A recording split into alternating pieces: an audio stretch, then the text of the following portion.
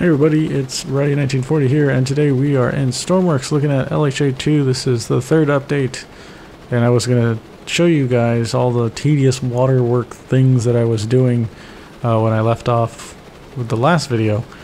Um, so, let's take a look here. If you look closely on the outside, the island uh, platform has been extended by one brick, and the reason, or one block, sorry, is because we've got fire stations all around the ship now. So you can see the little red fire stations.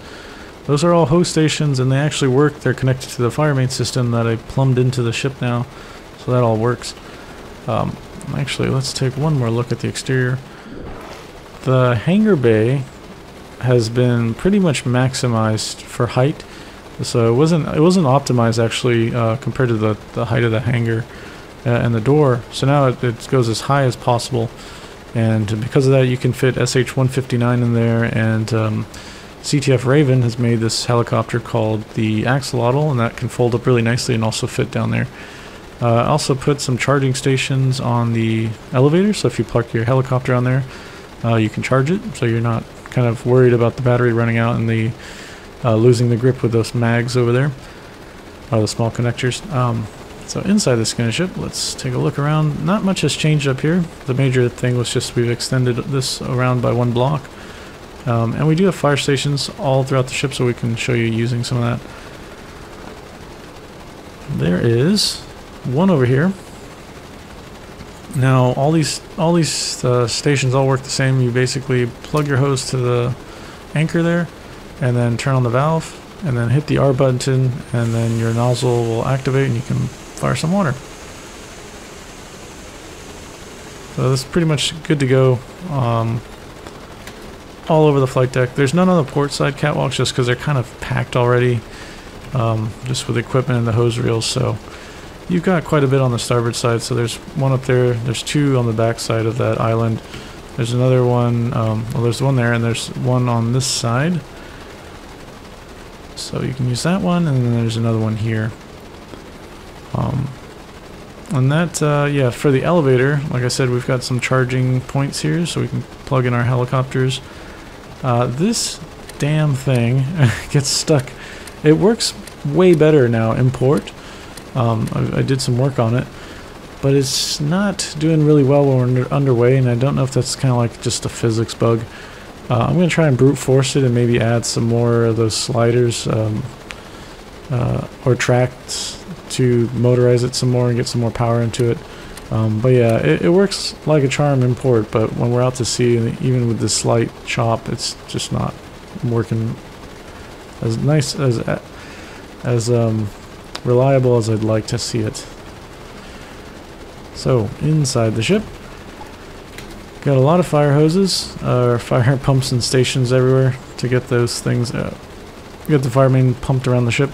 Uh, this space is new. This is the CO's cabin. It's really basic. It's just got a light and a heater, uh, the bed, and a fake like laundry bin thing.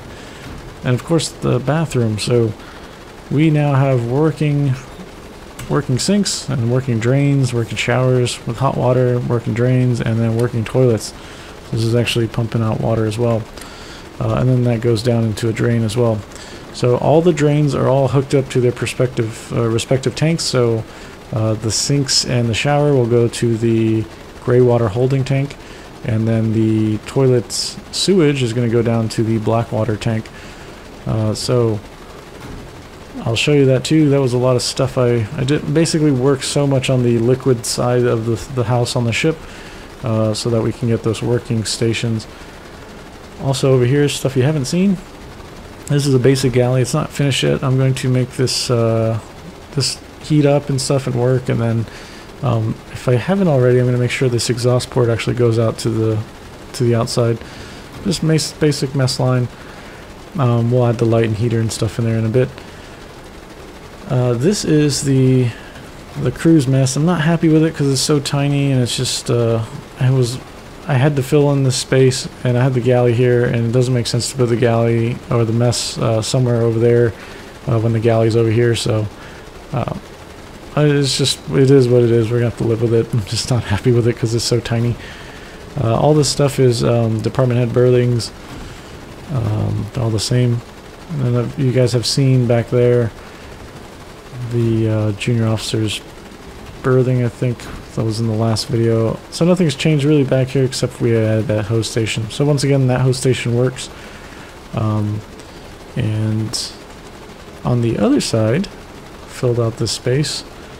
Uh, this is a giant bathroom, so there's these sinks all work. Uh, the deck drains all work. Uh, the, the drains all work. Um, toilets all work. There's a couple of them here. So they all flush. They all go down to the black water tank. And uh, the showers all work as well. So yeah, let's make sure that one's working. Yep, it's going. So yeah, this is primarily where the crew's going to use the restroom. Uh, and we have a way. Well, let's go down the other way here. Now, normally on the ship, um, in the past, we've been going down this way to get down to the engineering deck. But we can actually go, I've made another pathway. Oh, before we go down there, let's go up here so I can show you some additions. Um, so CTF Raven made uh, and the axolotl helicopter that was able to fit on this ship, and it works with our landing system. And so he's he's currently making a thing that can use waypoints and stuff, but it's sort of like a programmable station, and you program a, a data cartridge, and you can hand carry that and plug it into the helicopter. So you've got your waypoints planned out on a mission planner, and then you can pull it, put it into the helicopter, and use it when you fly the helicopter, which is really cool. Uh, but because of that, it's going to need some space, so we're probably going to put like a avionics office or something maybe up here or maybe cut into the wall and, and, use this space for that so we can have that mission planner. It makes sense to have something like that near the, the hangar bay so uh, that's probably where that's going to go. And if we go forward we've added a simple medical bay over here just one one bed nothing fancy. And then you guys have seen this this is the forward generator. And then over here is the anchors. So outside there are two anchors on an automatic system made by uh, Chicken Soar, I think that's his name.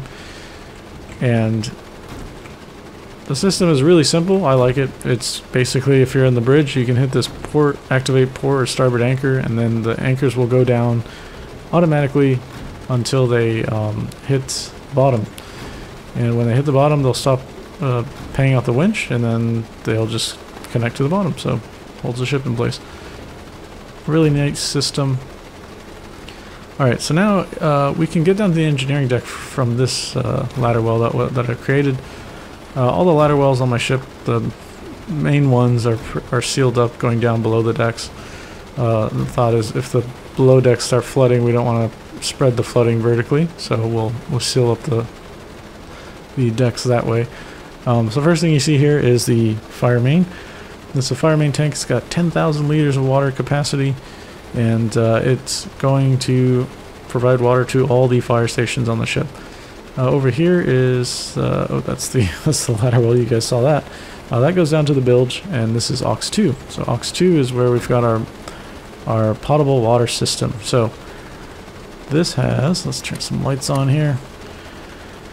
This is the seawater holding tank, so it takes the seawater from the sea chest, and we have some controls in CCS that'll show you for all these water systems, and it takes the seawater from the sea chest, holds it in that tank, and when we turn on the system, it will pump it into these desalinators, and they will provide us with fresh water. So after that, they'll go to this fresh cold water tank, uh, and they'll sit there, and if we want, we can pump some water over to the hot water tank, and this guy, we can set our temperature with this control here, so we can, we don't want 1200 degrees, but we want 120 Fahrenheit. And we turn it on, and basically the electric furnace in there is going to heat up, and then the water's temperature is going to slowly rise to 120, and then it's going to just uh, maintain that temperature. So that is, this, this hot water then gets um, pumped up to all the showers and it gets pumped up to the sink in the galley so it's got hot water.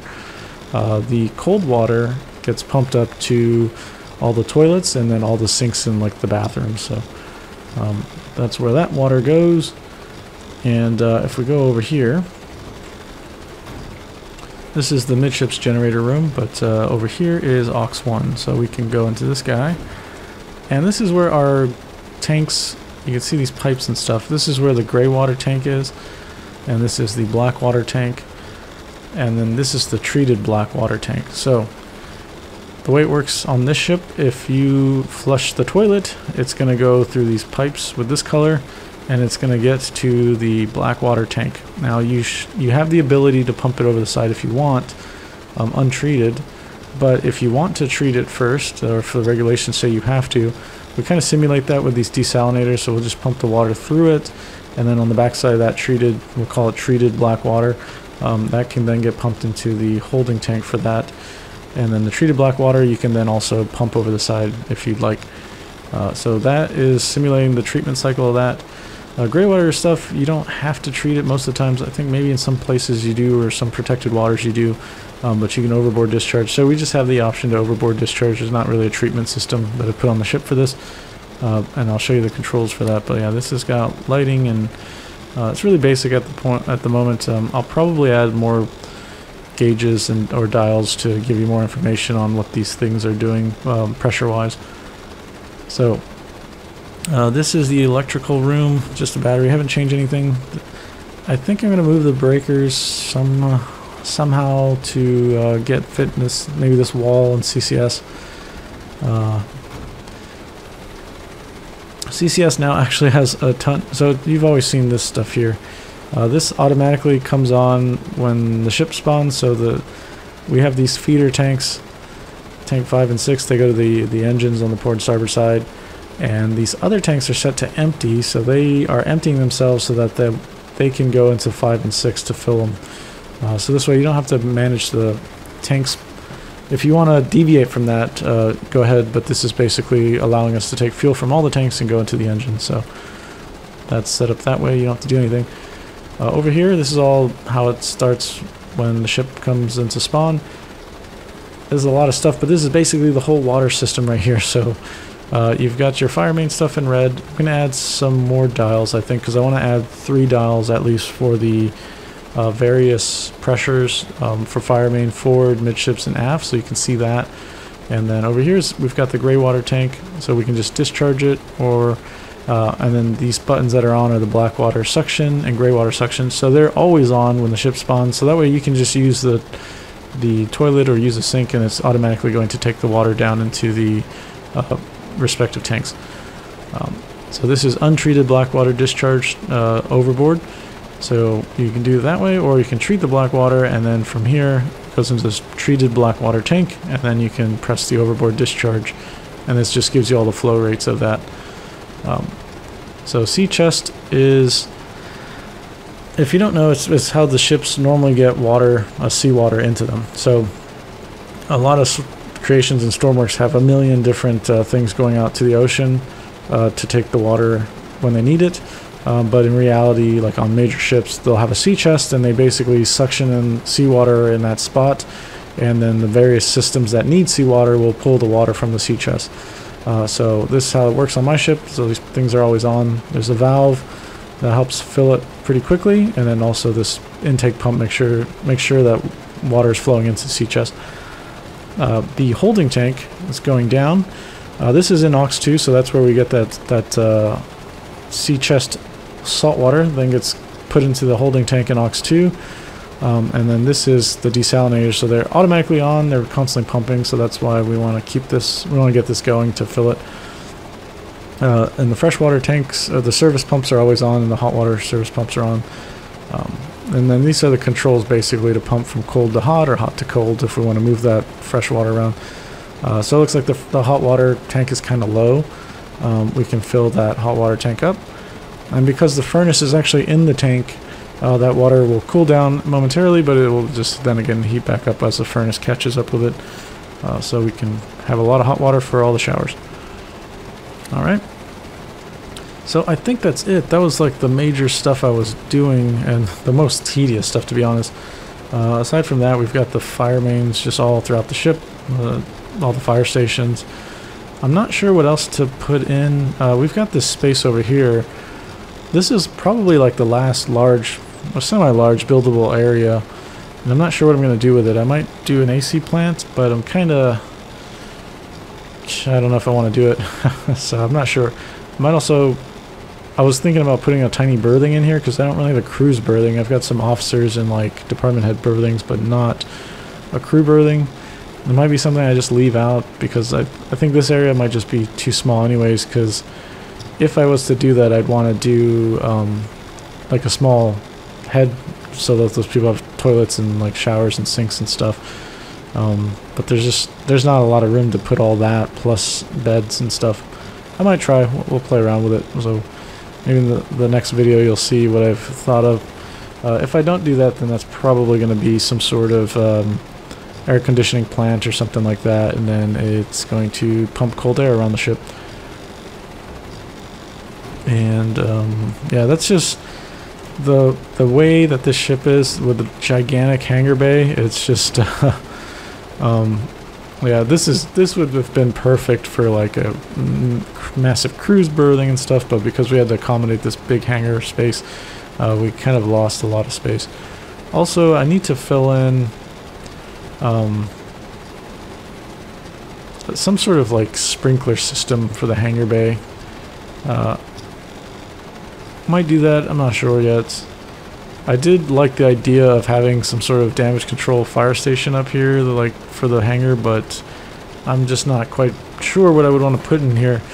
And um, with all the fire main stuff here already, it's just going to look way, way busy. But yeah, so some more details. Uh, that was, it might not seem like it was much to show, but uh, I tell you, that was painful to do all this pipe work uh, that was needed to get all those water systems in place. Ultimately, I'm really happy with it because um, I like in Stormworks being able to simulate marine engineering things, and one of the big things with ships is like the whole cycle of water. So, like using water, uh, how do you get it from the ocean into the ship? And then from when it's in the ship, how do you get it around to all the different systems that need it, and like what what systems need it? You know, so it's cool that we can actually simulate um, the whole potable water cycle. Um, and then we can heat it up and send it to different uh, outlets that are going to use the water. And we, I, I, do wish Stormworks had like smaller pipes so we can have sinks do both hot and cold water and that kind of stuff. But it's just the pipes are just too large, so it's too bad. Um, yeah, so uh, I think the next major thing I need to do is like figure out this stupid elevator because it won't go down. Uh, it it goes down in port, like I said, but um, just something about being on the ocean doesn't like it and it's not dropping itself down so that's just too bad but yeah hopefully we're getting there. I think um, I might release this soon because I, I I know that I have a lot of details that I want to put in but I think the major details that I wanted to put in if I was to release this was to uh, get that water systems in because that that adds like mass to the ship and gives it a good feel and it's just something that you could do on the engineering side while you're just driving around. Um, so yeah, if you guys have any questions or comments, leave them down below and I'll get to them as soon as possible. I'll see you next one. Bye!